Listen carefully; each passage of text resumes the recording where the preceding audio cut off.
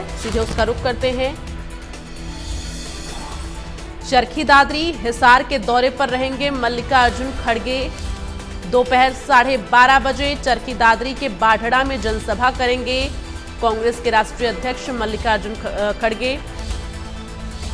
दोपहर साढ़े बारह बजे चरखी दादरी के बाढ़ड़ा में जनसभा होगी। मल्लिकार्जुन खड़गे की दो बजकर बीस मिनट पर हांसी हिसार में बैठक को संबोधित करेंगे।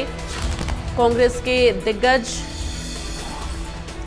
तो चरखी दादरी और हिसार के दौरे पर आज रहेंगे कांग्रेस के राष्ट्रीय अध्यक्ष। मल्लिकार्जुन खड़गे ये बड़ी जानकारी आपको दे रहे हैं। तो चुनाव प्रचार के दौरान, जनसभा संबोधन के दौरान बैठक भी होगी। बैठक को संबोधित करेंगे मल्लिकार्जुन खड़गे। इस दौरान तमाम जो कांग्रेस के दिग्गज हैं, उन्हें चुनावी मंत्र देते हुए और इस पूरे चुनाव प्रचार का जो दौर चल रहा है, उसका फीडबैक लिया जा सकता है। इस बैठक में फ़िलहाल चरखी दादरी और हिसार के दौरे पर रहेंगे मल्लिकार्जुन खड़गे। ये बड़ी जानकारी आप तक पहुँचा रहे हैं।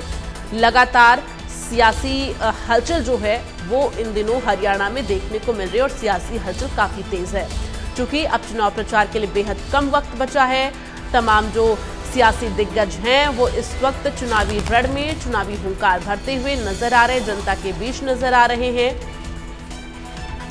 और हर एक जमीनी मुद्दे को समझते हुए और उस जमीनी मुद्दों के बाबत जनता के बीच वादा करते हुए ये तमाम सियासी दिग्गज इन दिनों नज़र आ रहे हैं। ऐसे में मल्लिकार्जुन खड़गे का आज दौरा रहेगा चरखी दादरी के बाढ़ड़ा में।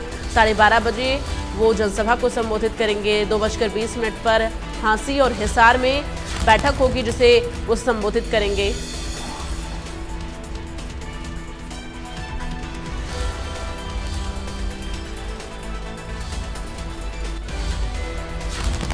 और चलिए आगे